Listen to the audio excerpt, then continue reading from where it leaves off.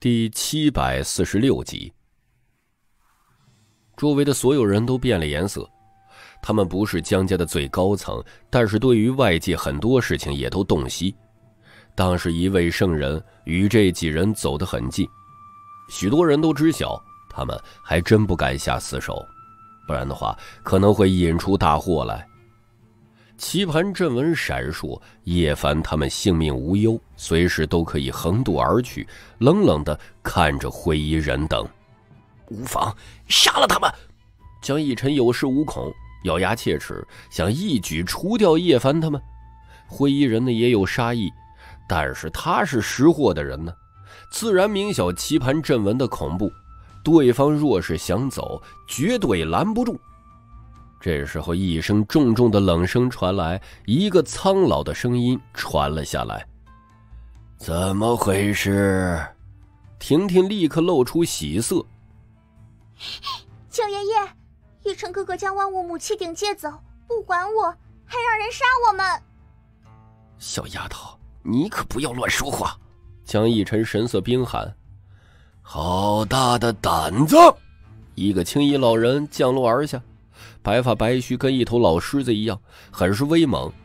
他是绝代神王的后人，昔日就是他对婷婷多有照拂。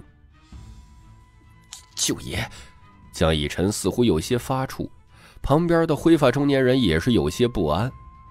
你们可真是出息啊！神王老祖才消失，你们就敢如此了？九爷。那万物母气鼎本来就已经成为我江族圣物，我怕婷婷保管不善，被这几人谋夺去，故此先代为保管的。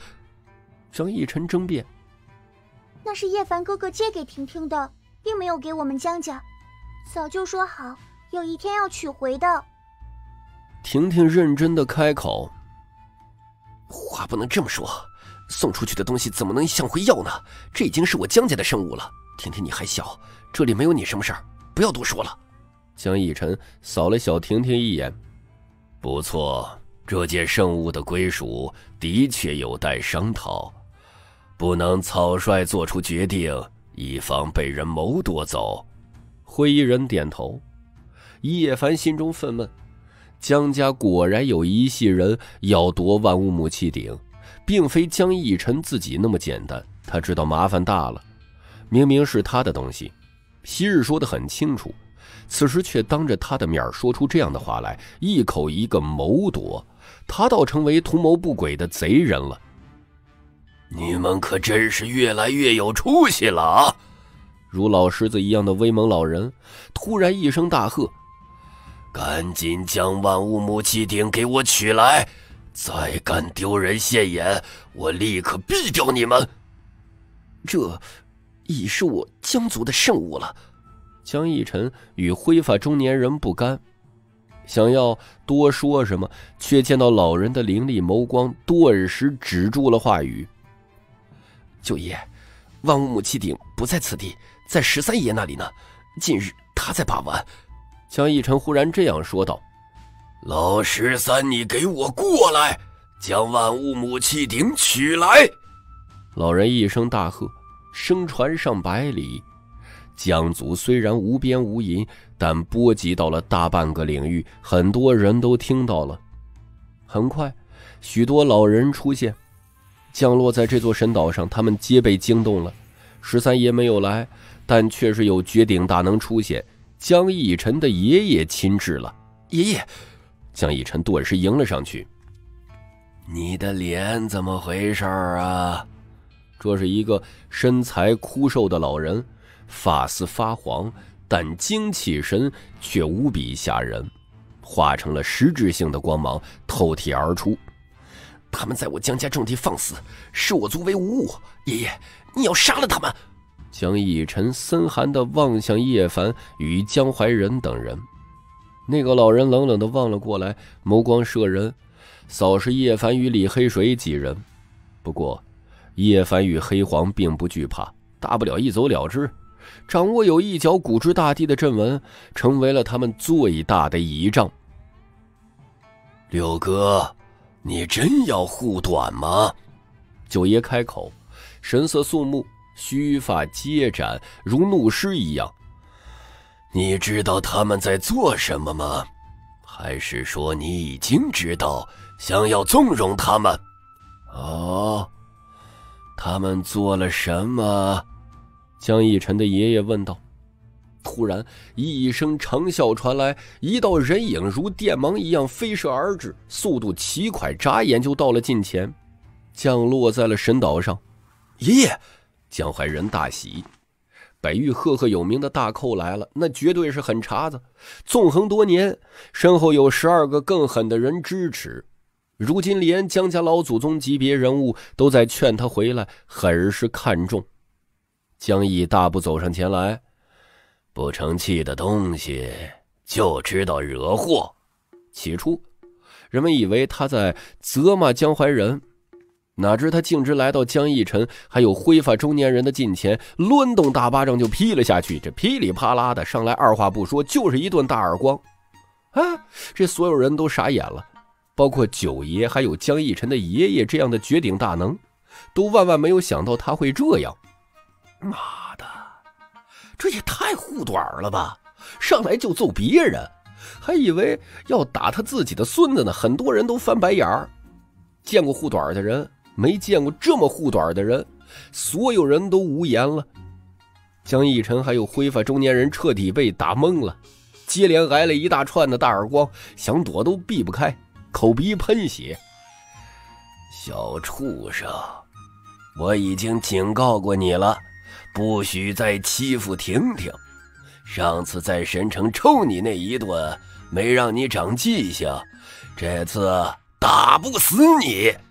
江毅非常霸道，当着江逸晨他爷爷的面就这样狂抽。还有你，上百岁的人了，一把年龄都活到狗身上去了吗？江毅同样在扇灰发中年人的耳光，口中这样说道。所有人都发懵了，这位大寇爷爷也太牛叉了吧！当着绝顶大能的面就这样抽他孙子与长子，真是一点不留情面呢。我我晕了呀！哎呀，江怀仁，你爷爷可真猛啊！真是我辈楷模啊！刘寇、李黑水等人都有些发晕，纵然是叶凡还有黑黄都呆呆发愣。这位大寇爷太强势了，居然敢这样！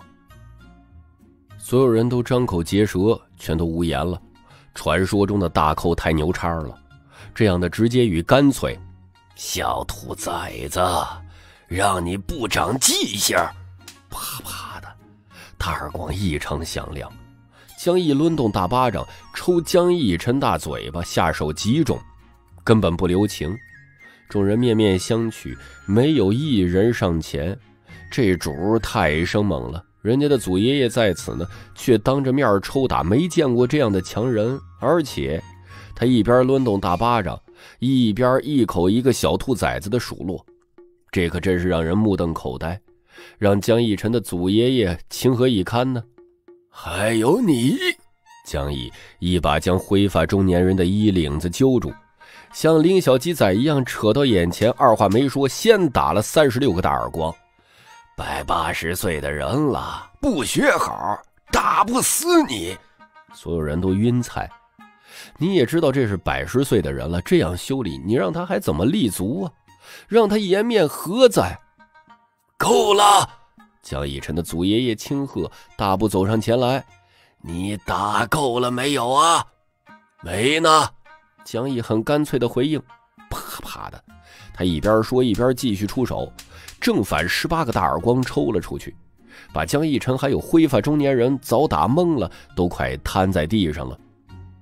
旁边众人都不知道说什么好了。人家这绝顶大能都如此开口了，他却用这样的行动回答，强的一塌糊涂啊！你你，江瑞面色冷了下来，怎么？你还想对我动手不成？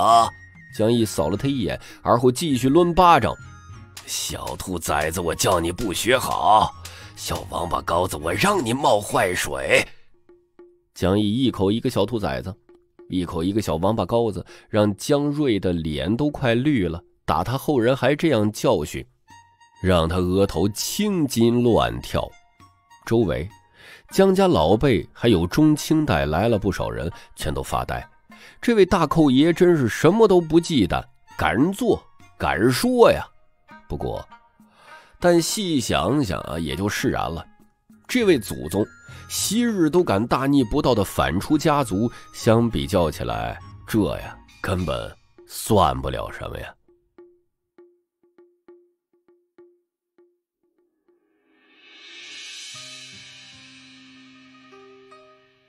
本集已经播讲完毕，感谢您的收听，谢谢。